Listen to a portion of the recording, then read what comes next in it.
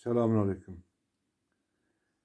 Örümcek hile yapmak için sürekli ağ örer.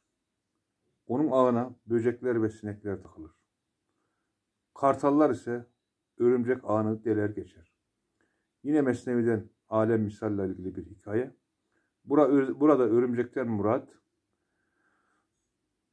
zalim insanlar, yalancılar ve sahte hocalar, sahte şıklardır. Sineklerden murat onların hilelerini sezemeyen cahillerdir. Kartallardan ve doğanlardan murat ise onların hilelerini sezen hakiki alimlerdir.